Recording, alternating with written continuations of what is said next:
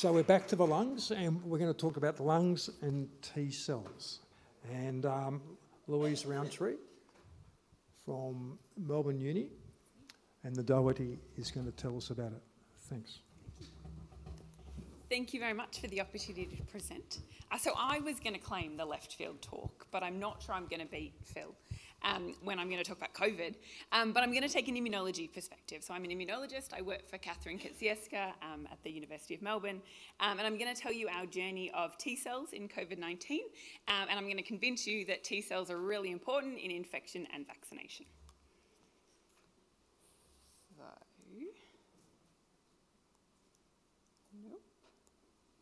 There we go.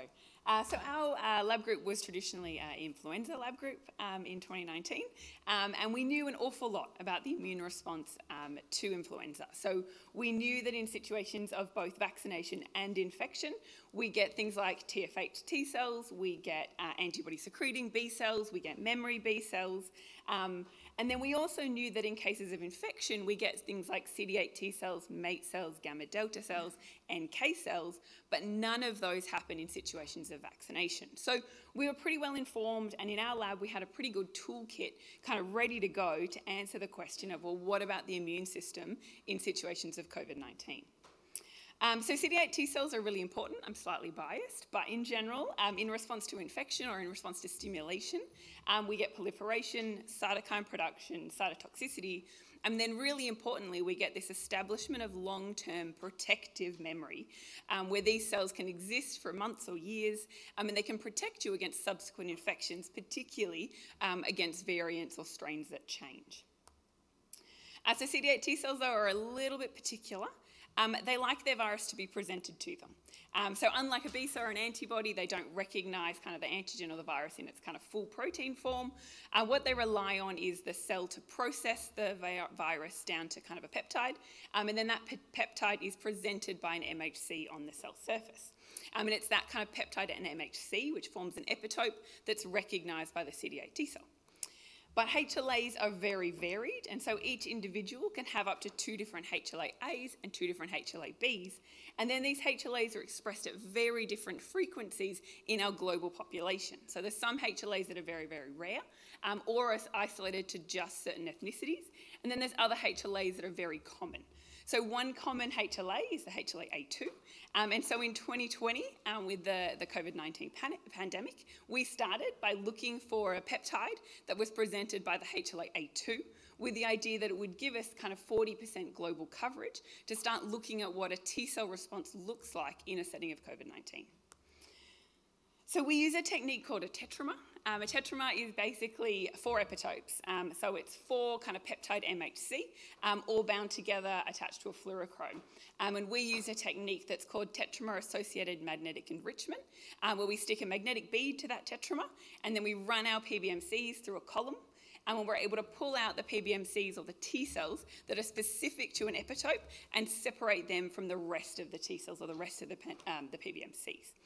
Um, and so by using this technique, um, ourselves as well as a few other groups around the world, um, in similar timing, identified um, an epitope restricted to the HLA-A2 and that we could see in COVID-19 patients.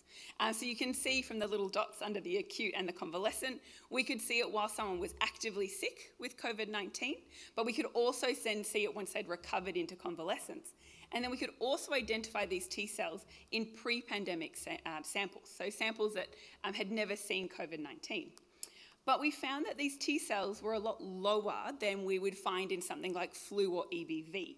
Uh, so you can see the red dots are the COVID-19 samples, and you can see um, they're higher in our COVID samples than our pre-pandemic, but they're lower than what we would observe for flu or for something like EBV. So we now we knew kind of one side of the equation. We knew about our epitope, we knew our peptide MHC, but we were interested in the TCR, so the T cell receptor. Uh, so we used a single cell um, DNA synthesis um, and nested PCR, um, and we get this idea of kind of inherent markers for understanding our virus-specific T cell by examining our TCR. Uh, so ourselves, as well as a few other groups, all looked into the kind of repertoire associated with this particular epitope. And really interestingly, we all found this kind of same bias towards a particular epitope. Um, so everyone observed this kind of TRAV12 bias. And then a group at Monash University actually then solved the crystal structure.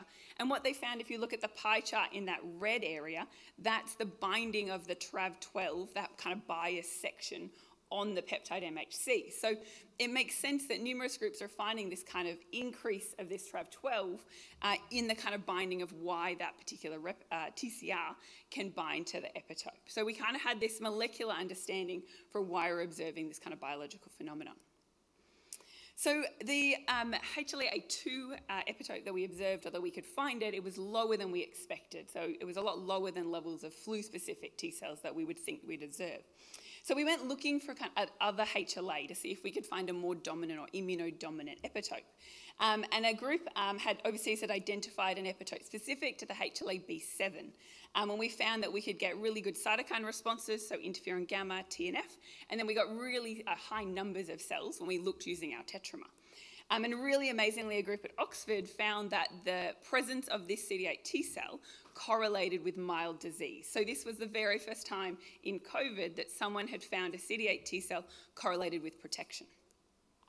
So we observed these CD8 T cells specific to this B7 epitope, and we found that we could identify them like early in infection, but also we could identify them out to nine months post-infection, showing this idea of that kind of long-term immune memory.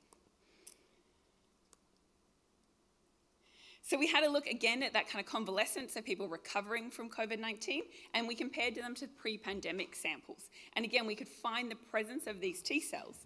But then when we looked at the kind of um, phenotypic state of the T cell, we found that in the COVID-19 patients, the cells have what we call a memory phenotype, meaning they were antigen experienced. They'd seen and responded to the antigen before. In comparison, the pre-pandemic samples had a naive phenotype, meaning they'd never seen the epitope before. Um, and we believe, therefore, that the high levels that we're observing of these T cells is not because they've already responded to a similar infection. So we had a look and you can see this levels of response here. So the dark blue is our B7 T cells um, in our uh, COVID-19 patients. And you can see the levels there are higher than the red ones, which are the A2 T cells. And both of those responses are higher than what we see in the pre-pandemic samples. But the blue pre-pandemic samples are higher than the pink A2. So again, we have that this uh, B7 T cell is at a higher level than the A2 T cells that we'd observed kind of earlier in 2020. So we then again wanted to look at our T cell, um, our repertoire to understand if we could link the level of T cell to its um, immune mechanisms. And what we found was unlike the A2 where we saw a lot of one receptor, in our B7 response we're seeing a lot of different types of receptors.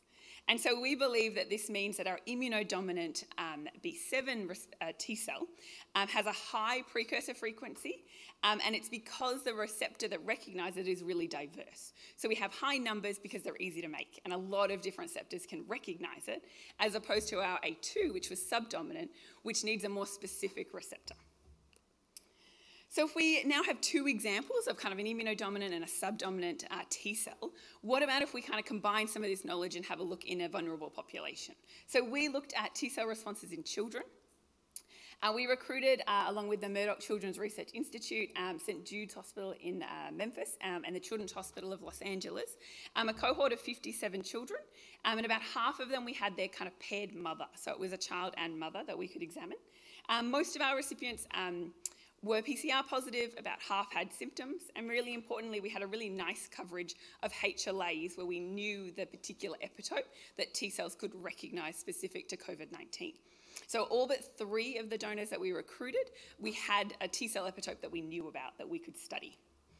So the first step, as always in COVID research, was to have a look um, at, at, who was PCR positive and who had antibody responses. So most of the donors in our cohort, these uh, were all infected around the ancestral strain in 2020. Uh, so most were PCR positive and had antibody responses, which is what you would expect. We had a small group in that second line that were PCR negative, um, but they had antibodies. So most likely we just missed the infection. When we uh, did the sample, we just missed that PCR positivity uh, but they were a known close contact and it wasn't a surprise that they would have been infected and generated antibodies. In the third line, we have a little bit more of an unusual group. These are PCR positive, but they didn't generate any antibodies. And we believe that these kids never really produced an immune response specific to COVID 19. And then finally, in that bottom level, we have the PCR negative and the antibody negative, who were close contacts, but were never infected. So we looked across seven different uh, HLA epitope, uh, sorry, epitopes. Um, so we had the A2 and the B7, which I introduced, but we introduced another five uh, CD8 epitopes and one CD4 epitopes, which gave us better population coverage to look at what's happening at CD8 T cells in general, recognizing SARS-CoV-2, rather than just two examples. When we pool all those epitopes together, what we found was in general, our seropositive children, so people that produced an antibody response, they had lower levels of T cells than their mothers did or than parents did. Um, and then we dug down a little bit deeper and we found that it was actually a difference in the ORF and N specific epitopes rather than the spike specific epitopes that was lower in the children compared to the adults. We found in our groups that never seroconverted, so never had any antibodies, we found very similar levels of T cells. We went the step further to look, okay, what's the phenotype then? Are these T cells that we're seeing in children and in adults, are they the result of antigen exposure? So are they central memory, where they've seen an antigen, or are they naive? And what we found was in the seropositive groups, the majority of the cells were central memory, which you can see in the like limey green, um, or in the case of children, they were stem cell memory, which are still memory, but there's a little bit more flexibility to that cell type. In comparison, our seronegative children and adults were predominantly naive, meaning they weren't experiencing, they hadn't seen and responded to an antigen. And then finally, again, we looked at our T cell receptor. So, is there a mechanistic underneath this of why there's difference in, in adults and children?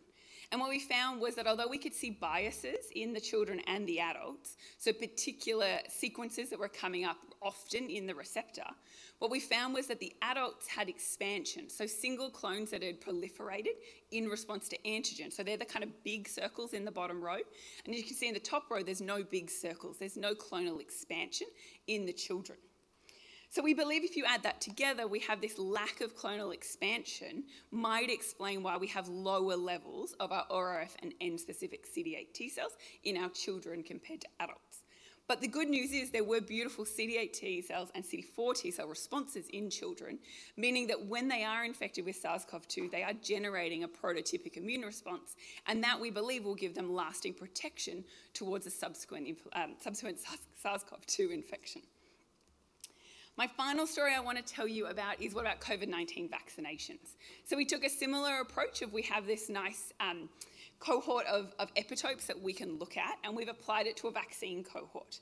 Um, so we looked at adults um, with uh, hematology uh, or mal- varying malignancies and treatments, um, and we recruited these patients uh, with Brendan Mattei at Peter Mac. Um, so most of our patients um, were um, vaccinated with the AstraZeneca vaccine um, based off their age. Um, but we have a few that had the Pfizer vaccine, um, and then most of our patients in this cohort uh, received a third dose, um, which was mRNA for the vast majority of our patients.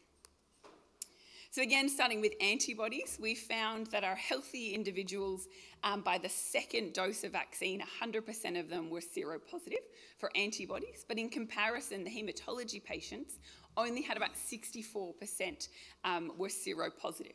This is not surprising. So the, the malignancies tend to affect B cells, so it's not surprising to have lower levels of antibodies in these cohorts. Uh, in the healthy cohort, by the third dose, so that booster, and three months after booster, we still had 100% seroprotection. Um, but again, the hematology patients, only 85% of the patients had significant levels of antibodies. Uh, we then looked at uh, neutralising, we did this um, in collaboration with Cantor's group, and we again found higher levels of neutralising antibodies in the healthy patients compared to the uh, hematology patients. And we found higher levels of neutralising antibodies towards uh, the original uh, Wuhan ancestry strain compared to the Omicron strain. So again, we used our tetramers to pull out our epitope-specific T cells. Um, so we looked at, again, one CD4 epitope, um, and it is a spike-restricted epitope, comes from the spike protein. Um, and then we looked at, you can see there is the example of, again, that A2 spike epitope. And then we also looked at another six uh, CD8 T cell epitopes. Um, and in case they were all coming from the spike protein, um, as that's what the vaccine comes with. And we studied our healthy cohort versus our uh, different disease cohorts from our uh, hematology patients. And we found that no matter what the disease, uh, bar the WM naive, where we had low patient numbers, all of them saw a significant increase in the number of CD8 T cells um, that were specific to SARS CoV 2 epitopes following vaccination. And this was following the second dose or the third dose um, of vaccine. Um, and we found, therefore, we believe these uh, cells to be protective. So the lack of B cells or the lack of antibodies didn't impact on a patient's ability to produce CD8 T cells.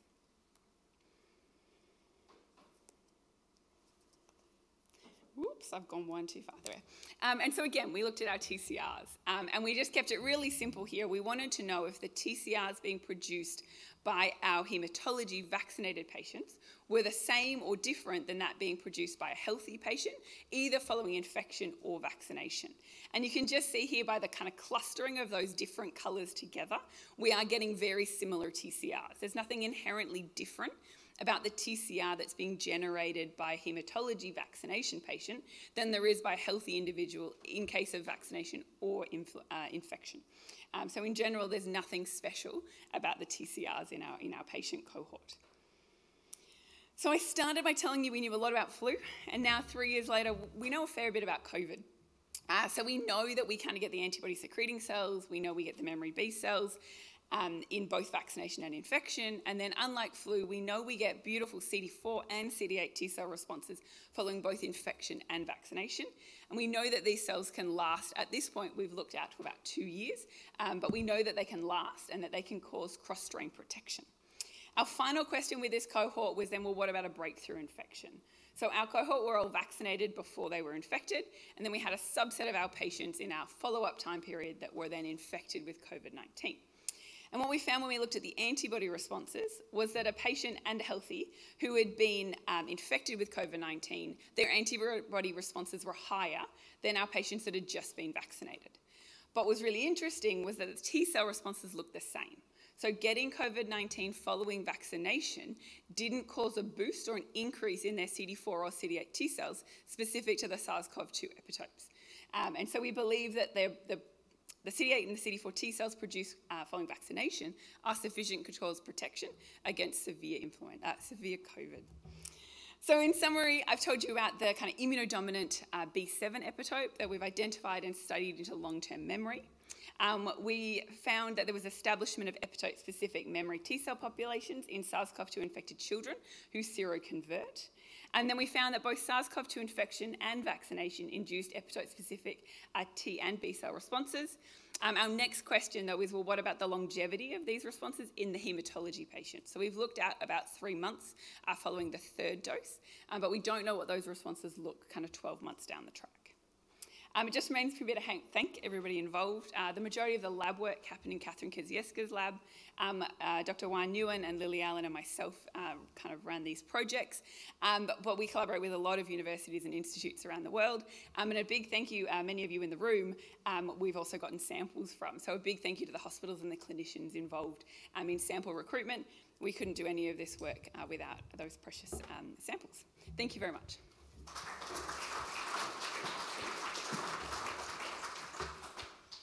Terrific. Thanks for a great talk. Louise, I just wanted to ask you a couple of questions. Have you mapped the T cell epitopes over the evolution of the virus? We haven't mapped them per se, and there are definitely groups that have. We have followed the ones that we're interested in. So um, we've got about kind of 20 epitopes that cover those kind of high frequent HLA.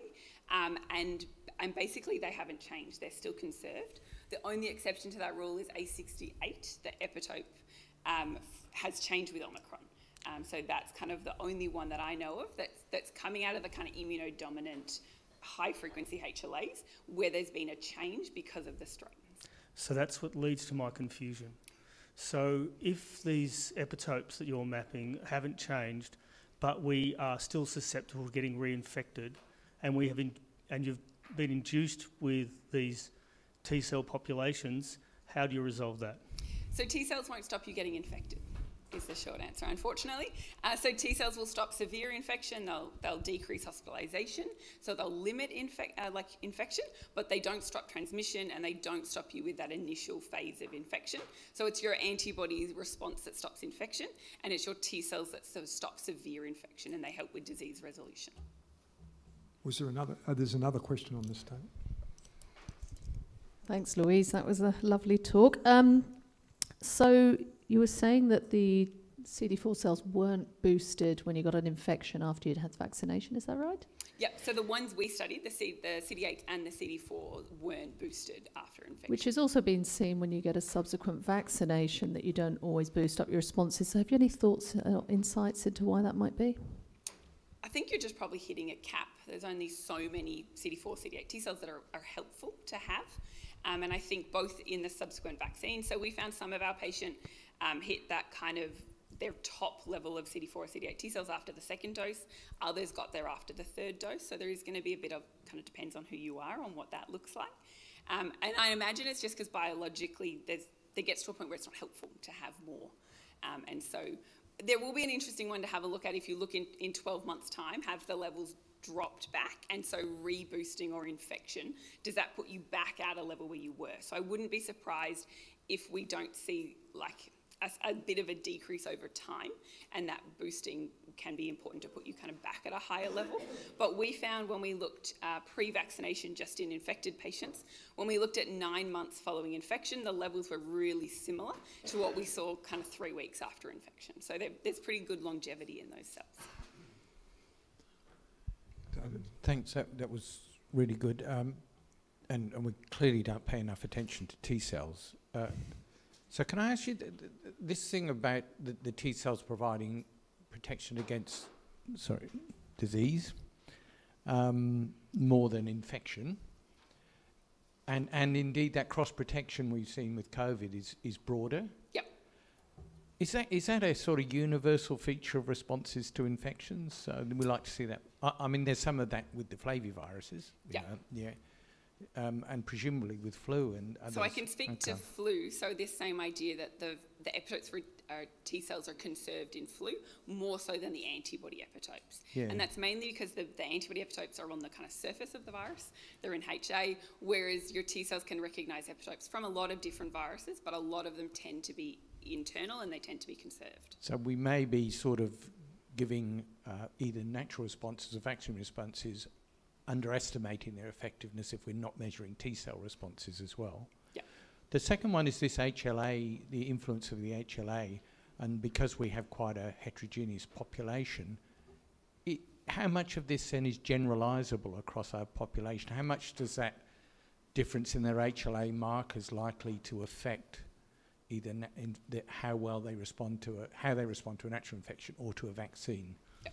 So in general HLAs aren't associated with kind of better or worse outcomes. There's a few examples. So in the situation of flu, the HLA A24 is associated with severe infection, but that's probably one of the, the rare examples where we know that one particular HLA just doesn't have good epitopes for flu. Um, although that said, we, we know there are epitopes out there and we, and we know they work, so we don't quite understand the link to why that HLA does have kind of increased severity. Um, and then the flip side probably is in this kind of B7 one for COVID. Again, that's one of the rare ones where we know that having that epitope can help you respond. Um, in general, all epitopes can present something, um, and so something is presented, something is recognised and we tend to look at and know about and measure the ones that are common, so high frequency. Um, and we do a bit of work that's looking at high frequency in Australia and high frequency globally. Um, our flu program is a lot further developed, obviously, than our COVID program in this. So we have a program where we are looking particularly at First Nations peoples um, because HLA um, expressed at a high frequency in a First Nation person um, can be a bit more um, kind of specific to that ethnicity.